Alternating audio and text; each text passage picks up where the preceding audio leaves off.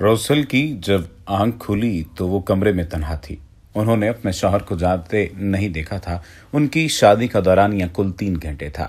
یہ ان کی پہلی شادی نہیں تھی، بلکہ دوسری، تیسری یا چوتھی بھی نہیں۔ در حقیقت ان کی اتنی شادیاں ہو چکی ہیں کہ انہیں اس کی صحیح تعداد بھی یاد نہیں۔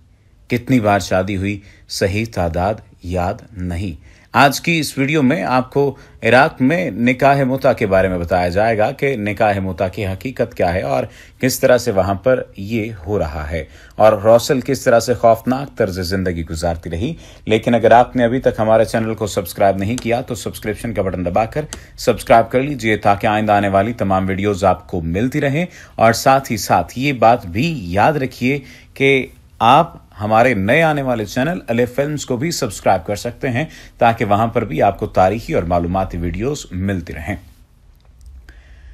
روسل، وہاں سوکھ میک اپ کیے، چست کپڑوں میں ملبوس، لڑکیوں کو آتا اور انتظار کرتا دیکھتی، پھر ادھیڑ عمر افراد آتے اور انہیں ساتھ لے جاتے۔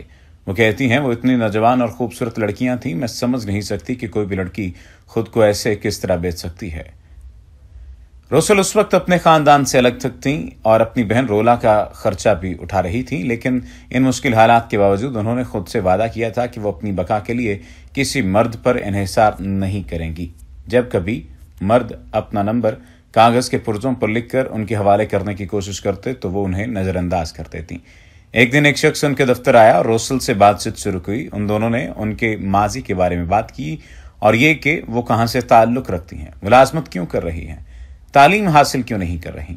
روسل کو یہ احساس ہوا کہ کوئی ان کے بارے میں فکر مند ہے۔ روسل کے لیے زندگی مشکل تر ہوتی چلی جا رہی تھی۔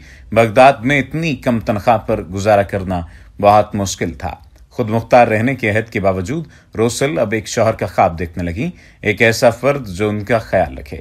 وہ شخص روزانہ ان کے دفتر آنے لگا اور ان کی توجہ حاصل کرنے کے لیے کوشاں رہا۔ آہستہ آہستہ روسل اس کی جانب مائل ہوتی گئی۔ چند ہفتوں بعد اس شخص نے انہیں شادی کی پیشکش کر دی۔ انہیں بغداد کے علاقے کازمین لے گیا۔ جب وہ شادی دفتر میں داخل ہوئے تو روسل بہت پرجوش تھیں شادی کی تقریب بہت مختصر تھی۔ مولوی نے چند سیکھے پڑھے اور روسل سے دریافت کیا کہ کیا انہیں دو سو پچاس ڈالر کی مساوی رقم بطور مہر قبول ہے اور پھر انہیں ایک معاہدہ دیا گیا۔ روسل اسے پڑھ نہیں پائیں، لیکن اگر وہ ایسا کر بھی لیتی تو شاید اس میں کوئی خامی تلاش نہ کر پاتی۔ نکاح کے چند منٹ بعد ان کا شوہر انہیں قریب ہی ایک فلیٹ میں لے گیا تاکہ ان سے جنسی تعلق قائم کر سکے۔ روسل اگرچہ کچھ نروس تھیں، لیکن اپنے اور اپنی بہن کے لیے ایک مناسب گھر کا خیال ان کے ذہن میں موجود تھا۔ وہ اپنے شوہر کے پیچھے پیچھے خوابگاہ میں چلی گئیں اور دروازہ بند کرتے ہوئے یہ دعا کی کہ یہ شخص ان کا خیال رکھے اور دونوں ساتھ طویل زندگی گزاریں اس شادی کے ابتدائی چند دن روسل کے لیے واقعی کسی پریوں کی کہانی جیسے ثابت ہوئے۔ ان کا کہنا ہے، مجھے لگتا تھا کہ میرے کندھوں سے ایک بھاری بوجھ سرک گیا ہے۔ آخر وہ وقت آ گیا تھا جب ہر چیز کی فراہمی میری ذمہ داری نہیں تھی۔ لیکن پھر چند ہفتوں بعد ان کا شوہر غائب ہو گیا۔ روسل نہیں جانتی تھی کہ ان کی شادی ختم ہو چکی ہے، بلکہ اس کے خاتمے کی تاریخ کا تعین اس کی ابتدا سے قبل ہی ہو گیا تھا۔ روسل اور شخص کے درمیان متا ہوا تھا۔ متا کیا ہے؟ نکاح متا ایک متنازع مذہبی عمل ہے، جس سے شیعہ مسلک میں وقتی شادی کے لیے استعمال کیا جاتا ہے اور اس میں خاتون کو شادی کے لیے رقم دی جاتی ہے۔ سنی اکثریتی ممالک میں نکاح مسیار میں بھی ایسا ہی ہوتا ہے۔ ماہرین کے مطابق، صدیوں پہلے اس قسم کا نکاح عموماً تاجر اور مقامات مقدسہ کا دور کرنے والے وہ مرد کرتے تھے جو اپنی بیویوں سے دور ہونے کی وجہ سے کسی ساتھی کی متلاشی ہوا کرتے تھے۔ نکاح متا ایک معاہدے کی بنیاد پر ہوتا ہے، جس میں شادی کی مدت اور عارضی بیگم کو اس کے عوض دی جانے والی رقم درج ہوتی ہے، تاہم یہ معاہدہ زبانی بھی ہو سکتا ہے۔ اس کے لیے کسی مولوی کی جانب سے تصدیق ضروری نہیں۔ تاہم، عموماً مولوی اس عمل کے لیے موجود ہوتا ہے۔ اس کی مدت ایک گھنٹے سے لے کر ننانوے برس تک کچھ بھی ہو سکتی ہے اور شوہر پر خاتون کے نان نفقے کی ذمہ داری نہیں ہوتی، بلکہ وہ جب چاہے اس شادی کو ختم بھی کر سکتا ہے۔ اس عمل کے بارے میں مسلم علماء کی رائے منقسم ہے اور کچھ کا خیال ہے کہ یہ جسم فروشی کو قانونی شکل دیتا ہے اور اس حوالے سے بھی بحث جاری ہے کہ یہ شادی کس قدر مختصر مدت کی ہو سکتی ہے۔ روسل جیسی لڑکیوں کے معاملے میں متا کا عمل بچوں جسے جسم فروشی کو ممکن بناتا ہے۔ یہ شادیاں عراق کے آئلی قوانین کے تحت بھی نہیں آتی عراق کی فوجداری قوانین کے مطابق اگر کوئی شخص کسی لڑکی سے غیر ازدواجی تعلقات قائم کرتا ہے، تو اگر لڑکی کی عمر پندرہ سے اٹھارہ برس کے درمیان ہے، تو سات برس، جبکہ لڑکی کے پندرہ برس سے کم عمر ہونے کی صورت میں اسے دس برس کی قید ہو سکتی ہے۔ روسل نے اپنے شوہر کے غائب ہونے کے بعد اس مولوی سے ملاقات کا فیصلہ کیا، جس نے ان کا نکاح پڑھایا تھا۔ وہ کہتی ہیں کہ وہ شخص بظاہر ان کی آمد کا منتظر دکھائی دیا۔ اس مولوی نے روسل کو مشورہ دیا کہ وہ نکاح متاقہ عمل جاری رکھے اور مزید شادیاں کرے کیونکہ اس کی مشکلات تک خود اس کے پاس اور کوئی حل نہیں۔ اس مولوی نے روسل کی تصاویر بھی کھینچی روسل جانتی تھی کہ وہ اپنی تنخواہ کے بلبوتے پر گزارا نہیں کر سکتی اور تعلیم کی کمی کسی بہتر نوکری کی تلاش میں بڑی رکاوٹ ہے۔ وہ یہ بھی جانتی تھی کہ ان یہ حقیقت کہ وہ اب کواری نہیں رہیں۔ ان کے لیے کسی مستقل شور کی تلاش میں بھی رکاوٹ بن سکتی ہے۔ چنانچہ سے وہ مولوی رابطہ کار بن گیا، وہ مجھے کام دیتا اور میرے پاس اس راستے پر چلنے کے سوا کوئی راستہ نہیں تھا۔ روسل نے یہ تو نہیں بتایا کہ انہیں کتنی آمدن ہوتی ہے، لیکن ان کا کہنا تھا کہ مولوی گاہک سے رقم لیتا ہے اور پھر انہیں ادائیگی کرتا ہے۔ روسل کے مطابق اب تک ان کے نکاحوں کی مدت چند گھنٹوں سے کئی ہفتوں پر مشتمل رہی ہے۔ جب شیخ کال کر کے کہتا ہے کہ میں نے تمہارے لیے مناسب شخص تلاش کر لیا ہے، تو میں نہ نہیں کر سکتی۔ روسل اب تک درجنوں مردوں کے ساتھ نکاح متا کے بعد ہم بستری کر چکی ہیں۔ یہ تعداد اتنی زیادہ ہے کہ خود انہیں بھی صحیح عدد یاد نہیں۔ ان کا کہنا ہے کہ مولوی ہی انہیں مان حمل انجیکشن بھی فراہم کرتا ہے تاکہ وہ حاملہ نہ ہو جائیں۔ یہ سلسلہ بہت پھیلا ہوا ہے۔ میرے جیسی بہت سی اور لڑکیاں بھی ہیں۔ کازمین اسلام کے شیعہ مسلک کے پیروکاروں کے لیے مقدس مقامات میں سے ایک ہے۔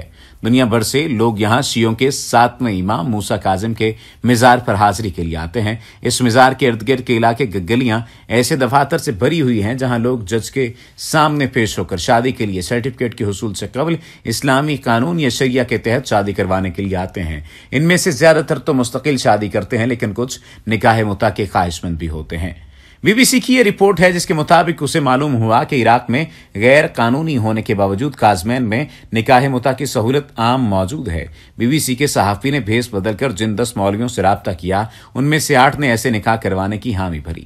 ان آٹھ میں سے دو تو ایسے تھے جو نو برس کی بچی سے بھی ایسا نکاح کروانے پر آمادہ دکھائی دیے، تاہم یہ بات جاننا ناممکن ہے کہ عراق میں کمسن بچیوں سے نکاح متکمل کتنے وسیع پیمانے پر ہو رہا ہے۔ کربلا سے تعلق رکھنے والے ایک سابق شیعہ عالم غیظ تمیمی کا کہنا ہے کہ انہوں نے سینکڑوں متا نکاح ہوتے دیکھے ہیں، لیکن ان میں سے کوئی کسی کمسن بچی سے نہیں کیا گیا۔ انہوں نے یہ بھی تسلیم کیا کہ سنی بھی اس قسم کا نکاح کرتے ہیں، لیکن ان کا کہنا تھا کہ چونکہ شیعہ مولوی صاحبان اقتدار کے قریب ہیں، اس لیے وہ بے فکر ہو کر ایسا کرتے ہیں۔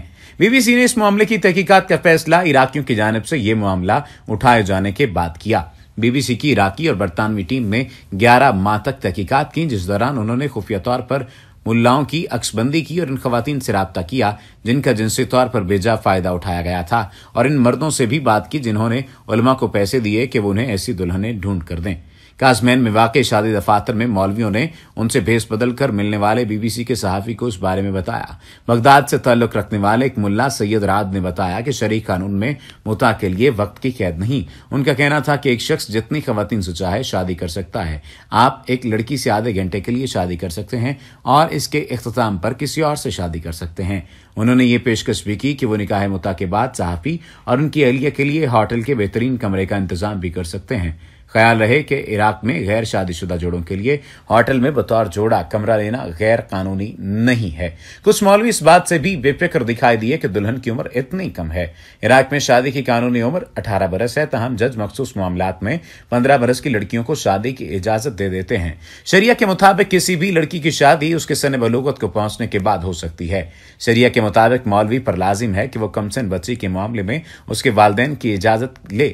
لیکن سید راد نامی مولوی صحافی کی اس لڑکی سے نکاح متا کروانے پر تیار تھے، جس کے بارے میں رپورٹر نے یہ ظاہر کیا کہ وہ تیرہ برس کی کواری بچی ہے۔ مولوی نے اس معاملے میں صرف بچی سے جن سے تعلق قائم نہ کرنے کی صلاح دی اور متبادل کے طور پر اینل سیکس کی تجویز دی۔ وہ یہ نکاح اس بچی سے ملاقات کے بغیر فون پر پڑھانے کو بھی تیار تھا۔ اس نے صحافی سے چند منٹ کے اس عمل کے دو سو ڈالر طلب کیے اور یہ پیشکش بھی کی کہ وہ ایک اور لڑکی بھی فراہم کر سکتا ہے۔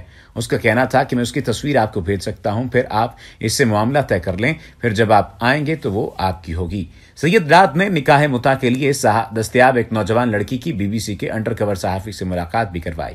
مولوی کا کہنا تھا کہ وہ تین سو ڈالر کے عوض اس کے ساتھ شب بسری کر سکتا ہے۔ جب رپورٹر نے نکاح متا کرنے سے انکار کر دیا تو سید رات نے پیشکش کی کہ اس کی مدد سے رپورٹر کے لیے مزید نوجوان دلہن ڈھونڈ سکتا ہے۔ ان کا کہنا تھا کہ ممکن ہے کہ میرے لیے چودہ، پندرہ یا سولہ برس کی لڑکی ڈھونڈ لاتے۔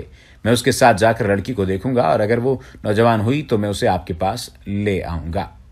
بغداد سے 120 کلومیٹر جنوب میں واقع ایک اور مقدس شہر کربلا میں شریعہ شادی دفتر کے سب سے سینئر مولوی شیخ اماد السادی سے جب بی بی سی نے دریافت کیا کہ وہ نکاح متا کے حق میں ہیں تو ان کا کہنا تھا کہ اگرچہ شریعت میں اس کی اجازت ہے لیکن وہ کبھی ایسا نکاح نہیں پڑھائیں گے۔ ان کا کہنا تھا کہ ایسا کرنے والے کو جیل بھیج دیا جائے گا چاہے وہ مولوی ہی کیوں نہ ہو۔ لیکن اماد السادی کے برعکس مقدس مزارات کے ارد گرد کی گلیوں میں کچھ مولوی اور ہی مشورے دکھائی دیتے دیتے دکھائی دیے۔ شیخ مصطفیٰ سلاوی نے کہا کہ وہ بخوشی بھی ایسی شادی کرنے پر تیار ہیں اور کروانے پر تیار ہیں جس میں لڑکی کے بارے میں انہیں بتایا گیا کہ اس کی عمر بارہ برس ہو سکتی ہے۔ ان کا کہنا تھا کہ نو برس سے زیادہ ہے تو کوئی مسئلہ نہیں۔ شریعت کے مطابق کوئی مسئلہ نہیں، جو دل چاہے کریں۔ چند دن بعد جب ان سے دوبارہ رابطہ کیا گیا تو کہ وہ کیا کوئی اور لڑکی فراہم کر سکتے ہیں، تو وہ تیار دکھائی دیے۔ ان کا کہنا تھا کہ وہ آپ کو تصویر نہیں بھیجیں گے، لیکن جب آپ ان سے بالمشافہ ملاقات کریں گے اور دیکھیں گے، وہ اچھی لڑکیاں ہیں، خوبصورت لڑکیاں ہیں۔ اگر آپ کو ایک لڑکی پسند نہ آئی تو دوسری ہوگی، پھر تیسری۔ بی بی سی نے ان مولویوں سے جن کی خفیہ عکس بندی کی گئی تھی، جب بعد ازاں رابطہ کیا تو سید رات کے نے نکاح متا کروانے سے انکار کیا، جبکہ باقیوں نے کوئی جواب ہی نہیں دیا۔ سید رات نے بتایا تھا کہ وہ عراق کے سب سے باسر اور بارسوخ شیعہ عالم آیت اللہ العظمی علی سیستانی کے مقلد ہیں۔ بی بی سی نے نجف میں آیت اللہ سیستانی کے دفتر سے ثبوتوں کے ہمراہ رابطہ کیا اور نکاح متا پر ان کا موقف دریافت کیا۔ اس سلسلے میں آیت اللہ سیستانی کے دفتر کی جانب سے کہا گیا کہ اگر ایسا کچھ اس طریقے سے ہو رہا ہے جو آپ نے بیان کیا ہے، تو ہم اس کی مرمت کرتے ہیں۔